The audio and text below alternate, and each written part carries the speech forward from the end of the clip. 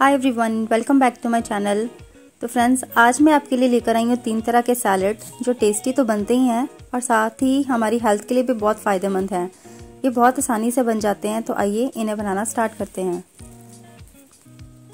तो सबसे पहले हम बनाएँगे फ्रूट सैलड फ्रूट सैलड बनाने के लिए सबसे पहले हम सभी फ्रूट्स को छोटे छोटे पीसेस में काट लेंगे। तो फ्रूट्स में मैंने लिया है एप्पल बनाना स्ट्रॉबेरी ली है, ब्लैक क्रेप्स लिए हैं, ग्रीन क्रेप्स, पियर और अनार लिया है। आप अपनी पसंद के अनुसार कोई भी फ्रूट्स डाल सकते हैं, जो भी आपको पसंद हो। तो सारे फ्रूट्स हम इसमें डाल देंगे।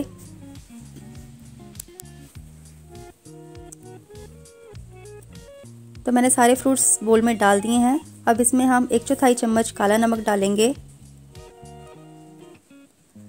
आधा चम्मच चाट मसाला ऐड करेंगे।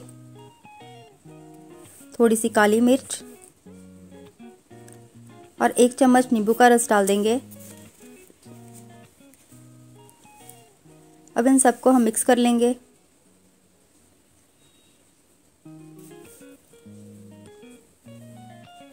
तो देखिए, हमारा फ्रूट सैलेड तैयार है। तो चलिए बना लेते हैं हम अपना दूसरा सैलेड।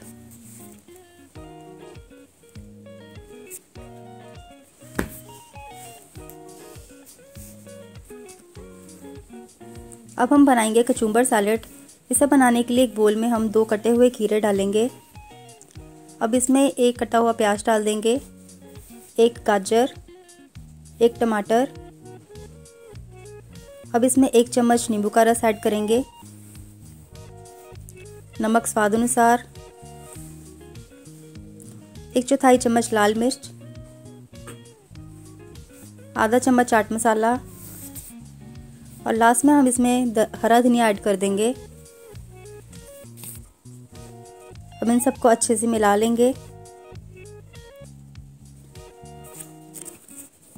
तो हमारा कचुम्बर सैलेड तैयार है।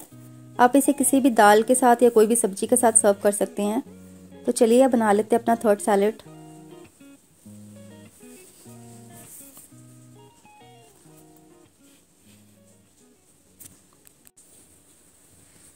sweet corn salad बनाने के लिए सबसे पहले बोल में हम एक कप उबले हुए कॉर्न डालेंगे। अब इसमें हम बारीक कटा हुआ प्याज डाल देंगे। कद्दूकस की हुई गाजर डालेंगे। यहाँ मैंने दो चम्मच कद्दूकस की हुई गाजर ली है। अब इसमें ऐड करेंगे थोड़ा सा नमक थोड़ी सी लाल मिर्च, आधा चम्मच चाट मसाला और एक चम्मच नींबू का रस। इन सबको हम मिक्स कर लेंगे।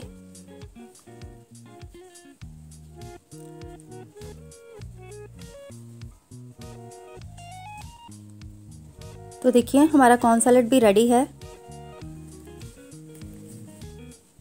तो देखिए, हमारे ये तीनों तरह के सैलड तैयार हैं। आप भी इन्हें बनाएँ और इन्जॉय करें। अगर आपको मेरी रेसिपी पसंद आई हो तो वीडियो को लाइक शेयर और कमेंट ज़रूर करें। और मेरे चैनल को सब्सक्राइब करना ना भूलें।